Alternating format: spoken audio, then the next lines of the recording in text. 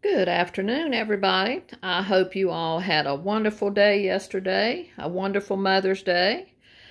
I just wanted to share some of the sweet gifts that I got for Mother's Day, and then a couple things that um, a friend found for me at Home Goods when I wasn't there.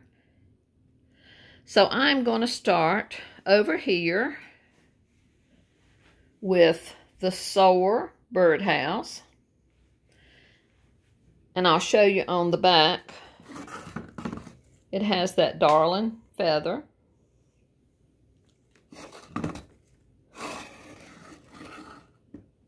With the navy bow. And of course, you Rae Dunn people know that was $20. And this Royal Crown Birdhouse is one I really didn't think I would get because it had been other places months ago. And our store never got it. And my friend called me and she said, sent me a picture and says, You want one? And I said, Yes, I do. Yes, yes, yes. So I have the Royal Crown Birdhouse. And of course, that was $20. Then she knew how crazy about Halloween we are.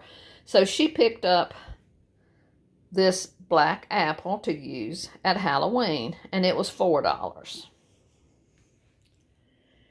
And then up here, look at that precious bee.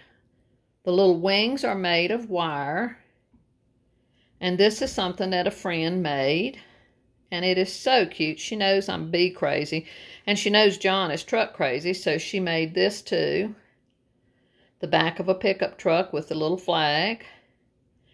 And there was the uh, tag that she had on my bag of goodies with the bee on it. And then down here, she also made the bee skip with a little bee on it. Then another friend,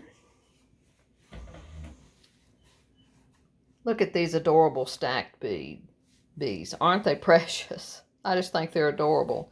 She got me that. And this bee jar and this bee canister, it actually came from Marshall's. I think it was $10. And then she made this star with the little star on it. She cut them out and sewed them, and I just think it is adorable.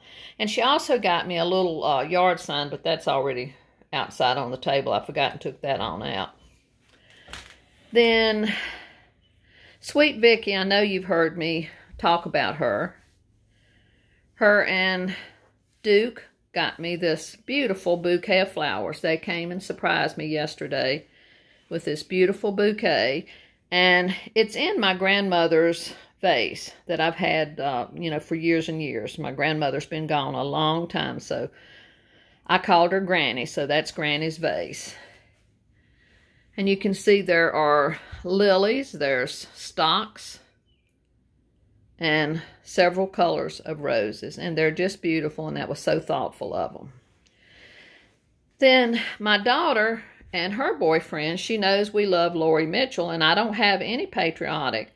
So they sent this precious little Lori Mitchell. It's called Stars and Stripes, and I think it is adorable. Then she also, since she knows that I'm Rae Dunn crazy, got this book by Rae Dunn, In Pursuit of Inspiration. We have all the other books. In fact, I think Cindy's the one that got me the other books by Rae Dunn. Let me see if I can open this up just to give you an idea of some of the sketches and all in it. It's got just all kinds of pretty things in it. Collections. Y'all know I like collections. Keys, you know I love keys. So I'm looking forward to having time to sit down and look at that thoroughly. Oh, I forgot the little flag. This is another thing that uh, our friend made us. The little stars are raised out. So thank you all for being so sweet and gifting me with these wonderful things. I appreciate all of you. I appreciate each one of y'all that are watching this video And I hope your week has started off great. I planted flowers a lot of the time today and weeded the rest of it. So till the next time, enjoy your evening.